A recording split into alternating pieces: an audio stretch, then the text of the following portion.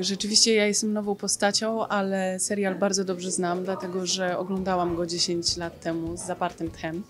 Yy, I teraz też sobie mm, przypomniałam te stare odcinki, więc yy, jestem na świeżo. Mam poczucie, że bardzo dobrze znam tych yy, wszystkich bohaterów, aż za bardzo jak na osobę, która jest nowa w tym towarzystwie, ale, ale bardzo się cieszę, że tu jestem. Na szczęście z większością aktorów już miałam okazję grać wcześniej w innych produkcjach, więc się trochę znamy i e, jest ok. Magda jest dziewczyną, od której e, Adam będzie wynajmował mieszkanie.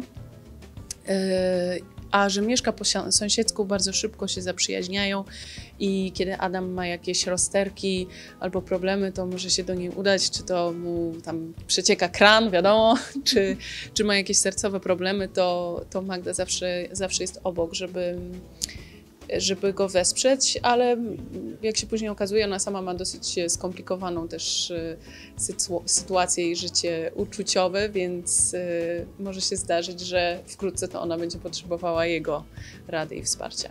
Może się też pewnie tak zdarzyć, że te trudne sytuacje zbliżą ich na tyle, że no właśnie połączy ich coś więcej niż ta taka przyjaźń.